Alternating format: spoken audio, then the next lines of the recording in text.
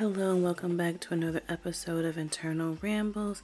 This is your girl Rochelle. This is another bonus episode, a reality recaps. I'm going to be recapping the last two episodes of Married at First Sight, and I'm going to try to do a quick, fast, and dirty recap of I believe the last two episodes of Ready to Love is where I left off. I'm going to just try to run through it as quick as possible. But if you listen to my last episode, my main episodes releases every Thursday, 8 a.m. Eastern Standard Time, you would know why there was no recap of last week's Married at First Sight. I'm struggling with this season. First of all, I know when I've watched previous seasons and I've watched recaps of previous seasons, a lot of people feel as though these seasons drag on. This season is dragging, but also this season has been frustrating me and I just didn't have the energy nor the time, honestly, nor did I try to make the time to recap last week's episode. But I said I would do it, and here we are. I said I was going to do it over the weekend. It's Monday, late night. Um, but I'm getting out there. Y'all didn't believe in me, did y'all? I hope you did. I do try to, if I say I'm going to do something, I do try to do it. So here we are. Uh, my reality recaps are my bonus episodes. So my main content, I definitely make sure or try my darndest to get out. But the bonus episodes, they really release whenever I'm able to release them. So I'm going to recap these last two episodes. I would love to know what y'all are thinking about this season. I released my audio on YouTube. Comment over there. What do you think? Well, I'll talk about this more at the end, but I'd like to know what y'all are thinking about this season. Am I the only one who has been a little frustrated, a little agitated? I don't know.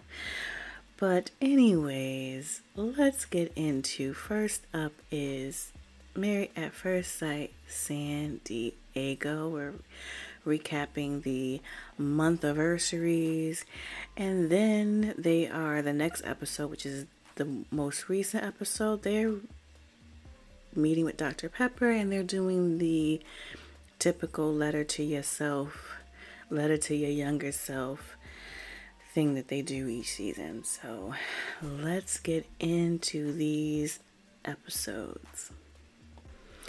All right, y'all. I got my notes. I'm gonna try to. It's it's really it's challenging to do multiple episodes at one time, but I'm gonna try to go through and summarize just what occurred with each couple, and then just maybe some thoughts on where they are. But the one couple, I'm gonna start. Should I start with them? No, I'm gonna end with this couple. I'll end with this couple. So, um, what I will say, I won't be talking much about Lindy and Miguel, just because I really feel like not much is happening with them, but they are doing better. I, that's not a negative thing. I think they're putting in the work. I will talk a little bit more about what I think about them in the next episode, but in this month anniversary episode, I actually didn't even write anything down. they are putting the work, so I won't actually be mentioning anything about them for the month anniversary episode. Uh, but for next episode, I will talk about them. Kristen and Mitch, so they go on their month anniversary, they do some yoga. The real key point about Kristen and Mitch in this episode is they at the end of the month anniversaries, all the couples get together and they have dinner and they discuss just kind of where you are, what you're feeling, and how things are going, or or whatever. And Mitch kind of says, you know, I've never had to really give my all in a relationship. I'm trying my best. I'm doing all that I can. And Kristen really says her piece, and she's she says to him, You signed up for this. You should be giving your all. I don't think you are. I'm the one that's compromising, putting in all this effort, not even getting to do what I want to do, say what I want to say. I'm tired of putting all this effort. Where do I get to do what I want to do? Basically, where is Kristen at in this marriage. And so she puts it out there like, I'm tired of this mess. I'm tired of conforming to your way of life, compromising on what I want to do. Something's going to have to change. So good, you know, kudos to Kristen for really putting it out there and saying, I ain't, I'm not going to be able to keep doing this much longer. In this month anniversary episode, if you may remember from a previous episode, Stasia said that she wanted Nate to sign a post-nup, so they do sign the post-nup. And Nate, in a later or in a different part of the episode, said that he doesn't feel that Stasia trusts him, that really a lot of her communication has just been her questioning his effort, how he feels, his commitment, and so that's you know very hurtful to him. And so I think that while I think we all have been questioning Nate's commitment, I think that that was something that she needed to hear too, because I, I can imagine it, it may not feel good to constantly have your every action, your every word question, and do you really like me? Are you really here? Do you really want to be married? I was good. I you know, I can imagine that can be overwhelming and, and, and agitating and hurtful too if he really is feeling her and is really developing feelings for her, yeah, I would I could imagine that that would be upsetting. So um, she seems to at that point really kind of be listening to him. And so if you remember in a, a previous episode when they were saying when she asked him, "Where are you on the spectrum of like versus you know you're really into me, you love me, one to ten." She was at an eight and he was at a four, but he's moved up to seven to eight in this episode, so he's getting there. Um, Alexis and Justin, they at the dinner with the other couples, they get into an argument, and basically, Justin's I think he kind of shares that he feels as though he's making progress, etc. And Alexis is just like not moving. She's definitely shut down, and Justin's like, "Hey, you wanna you wanna say something? What's going on? You know?" And Alexis like, "I'm chilling. I'm I'm at dinner. I'm eating." And then he gets upset, and and whenever he shows any sort of elevated emotion, she just can't handle it. And he's an emotional guy. And so it's like, I think she's going to have to, first of all, as I've been saying, they do not know how to communicate with each other. But when you have someone that doesn't like emotions and they're dating someone who's overly emotional, something's going to have to give. There's going to have to be a common ground. And I can understand that because I, as someone who in later in life, I'm learning how to identify my emotions and express them, I really don't care to it's not my I don't I really don't like to date overly emotional men because I just kind of that's just I'm not that way so I I can't understand it. So I, I do understand her perspective, but I think she the way that she reacts to him, she she shuts down. And you when you're having a, a confrontation or just an, a dis, when you're having a discussion, you that's not communi- shutting down is not communication. So they have a big blow up at the end of this episode. So more to come about that. Last but not on the least, Morgan and Ben, the hot mess of the most hot messes. And this is the part, and if you listen to my last episode, this is the part I had to forward through it. They frustrate me, she frustrates me, and a lot of people get on Ben, and I think not a lot, some people do. And they miss the part that Morgan has never forgave forgiven Ben, even when she has said, I'll give you a chance there's a thing when when someone holds grudges or they have trust issues if they really don't reconcile that they never really fully as someone who has trust issues huh, i know what i'm talking about. If you don't you you have to get to a place of acceptance. If i say i forgive you i have to truly forgive you. It doesn't mean you forget but your actions and your conversations moving forward have to really mirror I forgive you. She stay, you lie, you everything, you lie, you lie. So she's upset because she learns that Justin or sorry, Ben has been talking to Justin about her whenever he's frustrated, he runs to Justin and Justin, which is ridiculous, puts Ben on speakerphone, unbeknownst to Ben, and Alexis hears this. So she runs to Morgan. And it's like, what type of girl code and guy code are we breaking?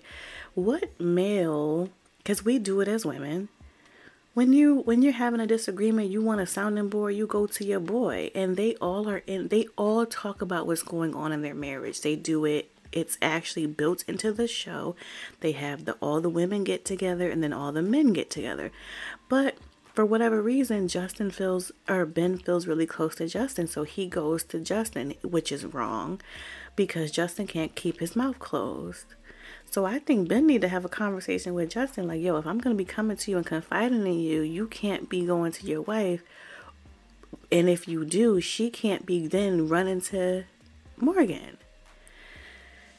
And she says that he says negative things about her family, but he says he's not. Who knows? I think that they both started off really wrong and they I think they both say hurtful things to each other or about each other. But I'm not saying Ben is correct. I do think he should be able to talk to Justin, and maybe he is saying some grimy stuff. But I don't want it to be lost on the fact that Morgan has never forgiven him.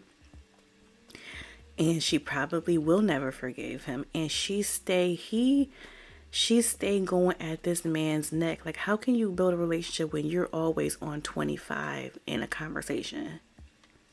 And one of the things I noticed, and I don't know which episode this was, they're not sleeping in the same room. Like they there's no building of a relationship with them. So and and um when you see Ben, he looks so stressed and and just depressed and she is I'm not saying he is in the right, but she is definitely breaking this man down. Cuz every time they talk it's just she berates him. It's just like, oh, you lie, you lie, I can't trust you, you're horrible, whatever. Even after she says, I'm going to give you a chance. And there's nothing wrong with Ben talking to his friend. You know, if he's saying grimy stuff, I mean, honestly, y'all, I mean, you never really, I don't, he has said he hasn't, Justin has not confirmed the things that he has said, you know, and maybe, you know, context, but Morgan, you're not in the clear either. You you have some things you need to work on as well. And that's the month anniversary episode. okay, so let's get into the episode where they meet with Dr. Pepper. So let's get back into to Ben and Morgan. I didn't like this w- with Dr. Pepper because I feel like Dr. Pepper gave Morgan a pass and did not address Morgan's behavior. She does not know how to communicate. She does not know how to address concerns, and she has never forgiven Ben. That was not addressed. At least we didn't see it.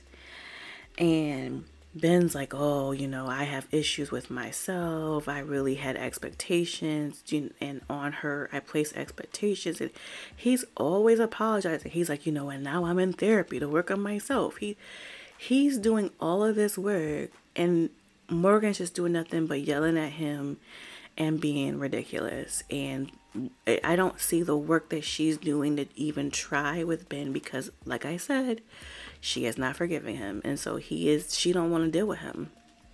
And so they do, they did the whole letter to the self where you're supposed to get another insight into who the person is. Ben read his letter. She was like, I don't trust you. Because whatever I say to you that's personal, you run and you put it against me, so I'm not going to read my letter. And exactly. So she would not read the letter to Ben and she runs away or walks. She doesn't run, but walks away. Because she is not in this, I don't know how they're going to move. She is not in this marriage. I don't know how they're going to move forward. They mentioned in the last episode that they're separated. It's like, bro, already I've been together a month she does she's not putting in the work to even try to mend those fences so I don't think they're gonna make it past decision day, honestly.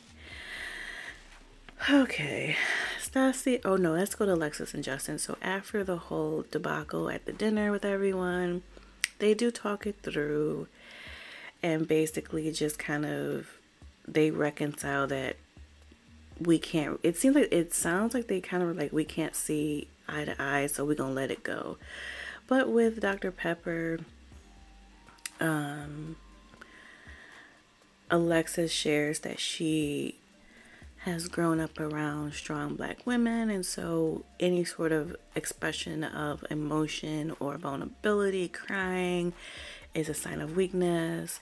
It lends the door to be open for someone to take advantage of you, etc. So she is not comfortable with showing any sort of vulnerability, and so that's why kind of I think her and Justin clash because he's so vulnerable, he's so emotional, and she's just like, "Yo, back that up. I'm not. I can't deal with that." So Dr. Pepper shares that for a successful marriage, like there has to be vulnerability you should the one person you should feel safe being vulnerable vulnerable with is your husband and so we'll see what happens with that they do really just need to learn how to communicate with each other and uh, Justin gets upset during and tearful and understandably so during the meeting with Dr. Pepper because he shares that he's going to have to give up his dog because the dog is just too aggressive and wasn't progressing in the training and so it's not really safe to bring him back in the home particularly with another dog so justin's gonna lose his dog so that's really pretty sad um, and so with uh, and Nate, Stasia meets with Nate's father, who was in the military and was a single dad, and he gets emotional just kind of sharing that. Dad gets emotional sharing because she asked him, How did you do it? How did you raise these kids by yourself? And he was like, I just had to do it. People ask me all that time. It's like I there was no other choice. I just had to do it.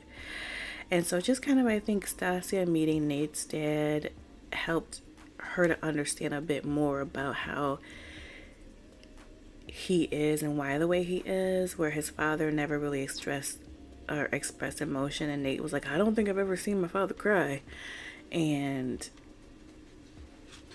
Nate's father said, "Yeah, I, I, I, I raised my children to be strong and not be overly emotional." So I think that was good for them. And then Stasia uh, let Nate meet her best friend and uh, the, her best friend's family that she stayed with for a year during, I think, her senior year, and that gave some insight too. So they seem to really be making positive strides with each other. And Miguel and Lindy, they met with um, Dr. Pepper, and honestly, you know, I think one of the issues, even though I'm not a huge fan of Miguel, I think with Lindy, she just needs to mature more, and I think that she's had some things that have happened to her when she was growing up or just experiences that have been roadblocks for her. So I think she will be okay if she can manage her own mental health, etc. But they ended up telling each other that they loved each other. They're talking about raising kids and what that may be like. So they they're they've made some strides.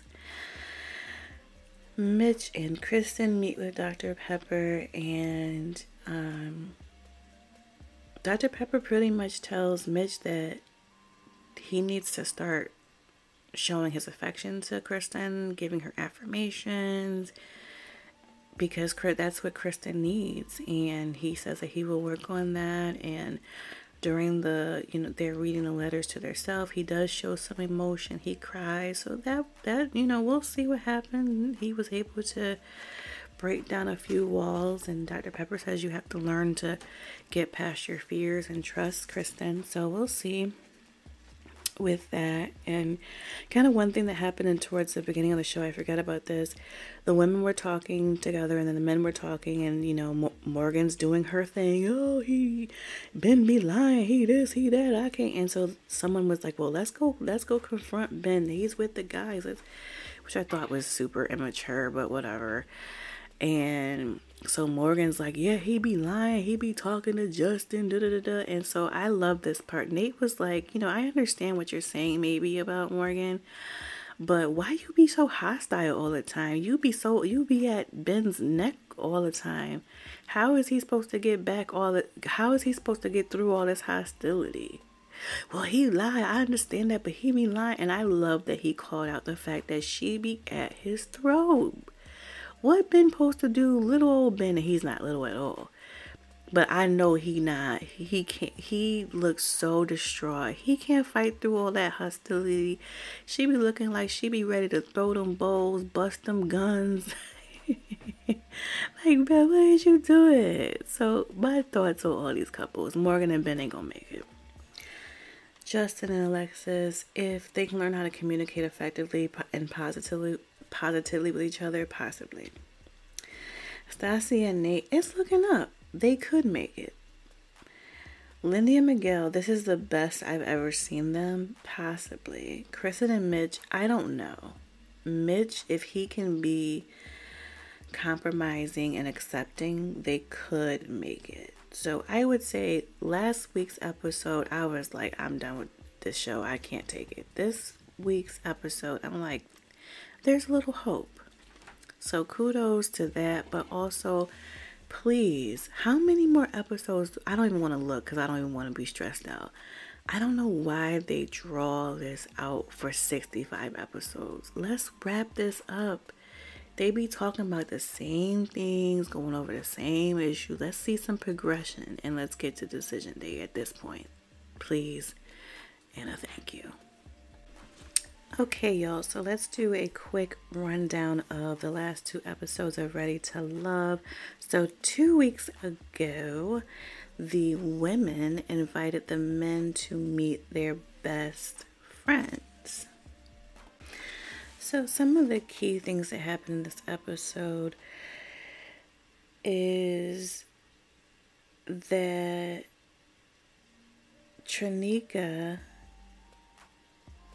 had Justice meet with one of her friends, or actually, I think there were two friends, and that did not go very well. He, I, I'm not a fan of Justice. He was not really answering questions. He was very evasive.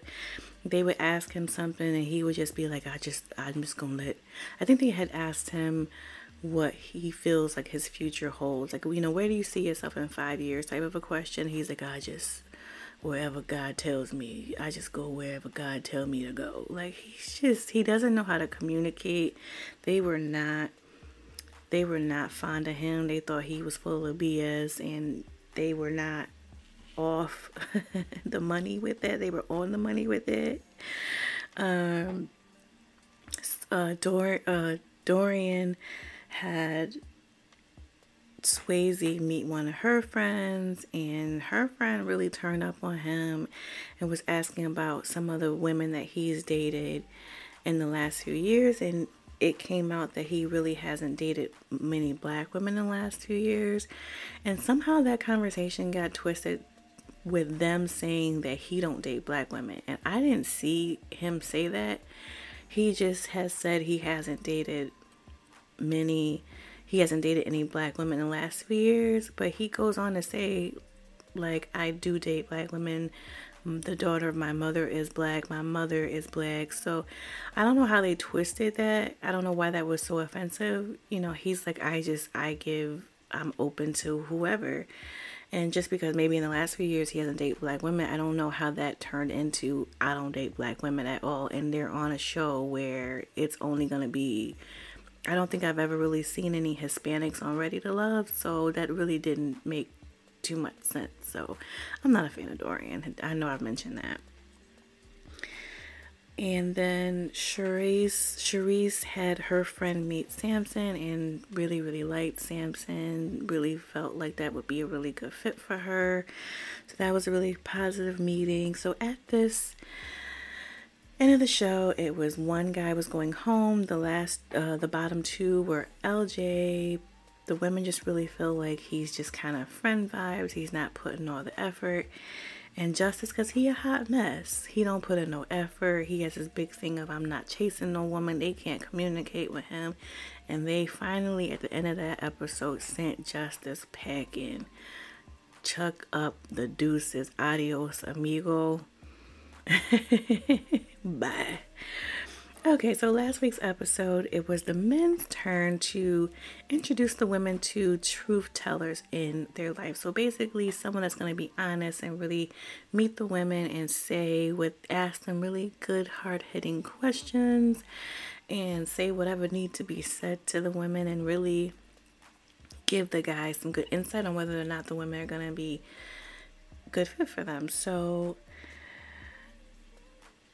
one of the things that happened in this is that Randall is still dating three women, which I don't like. I really did. One of the things that kind of irritates me at this stage in the game, why are y'all still dating 85 people? It really should be narrowed down to one, maybe two by this point. Some have, but Randall has still stuck to his three Kayla, Trinica, and uh, Jamila. And Randall had his ex girlfriend meet the women, and the Randall's ex thought that Trinica was not genuine, thought that Jamila's answers was too much, everything was too much focused on Randall. It's kind of like, where are you in the equation? She really liked Kayla, thought that Kayla had calm energy, and that's something that Rand that she believes Randall needs in his life. So Kayla was the winner in this one, and Swayze had Dorian meet one of his friends, and that did not go well. So this is like number two date where Dorian's meeting well uh, let me rephrase it. It didn't go it didn't go bad. It just it could have gone better. They're still having communication issues. She rolls her eyes a lot and she i don't know it's just they you, you can tell that they kind of rub each other the wrong way but he's still trying to plug through for some reason. I don't know so Swayze's friend was just like you know, take it day by day, but you could tell that there is some awkward energy between the two of y'all. Samson had uh, an ex meet a few of the women, and they really like Charisse. I think, to me, that might. Oh well, let me get that at the end. Let me not do that. so the hot mess of the episode. LJ had his ex meet Trinica and Looney. Come to find out, they had been broken up for several months, which is still pretty fresh, but they had still been sleeping together at least within the last month, they had done the horizontal boogie. And it's like, why would you bring someone that you still kind of have dealt with, but also the woman was like, Are you still in love with him? And she was like, Yeah, you know, I still love him. Girl, what? she is not even over LJ. And LJ is like, you know, I really, I'm really trying to move forward. You know, I have love for her, but you know, breaking the woman's heart all over again. That was a hot mess. Like it was just. Why would you bring someone you? And I guess I understand that maybe they are at different points. He's moving on, but I bet you he knows that that woman has not moved on from him. So I just thought that was kind of trash at LJ, honestly, to bring that woman to meet these women that he's dating and trying to get with. So, into it. So then another kind of dramatic thing that happened is a few of the daters got together just to have a meal. And that was Mike and LJ, Dorian, and Charisse. And Dorian and Charisse get together, got got into it because Dorian and I don't even know how it started, but Charisse was like, You're not a friend. You've been fake. You've been phony. You've been saying you my friend, but you're not a friend. And Dorian was like, Yeah, I have been fake. I have been phony. I'm playing the game to get what I want. Did I mention I don't like Dorian? She just keeps showing it week after week after week after week. Ever since she did what she did that one girl who had trauma and she just shows like she's not a nice person. So the next woman to go i'm hoping is dorian. And in the in the men's lounge they tried to put it on Charisse and it was like no dorian was i mean Charisse was calling dorian out on her bs and it needed to be done. And Charisse can match Dorian's energy, so that was the perfect person to do it. But anyways, at the end of the episode, one woman was going home, and the two bottom was Trinica and Looney. With Trinica, according to the men, the men feel as though she's not communicating effectively, and they can't really connect with her. And she was upset about that. She was like, "What y'all mean? I'm mad. I'm upset. I am putting in the effort. I'm, you know." Anyways. And then Looney, they really kind of feel like she jokes a lot. She had, I don't, I don't, I think maybe they get friend vibes from her. But yo, Luni is a vibe. She is always smiling. She reminds me of me when I'm when I have a little personality. I like to joke. I like to, you know, you always gonna, well, you're not always because people be wanting me to joke.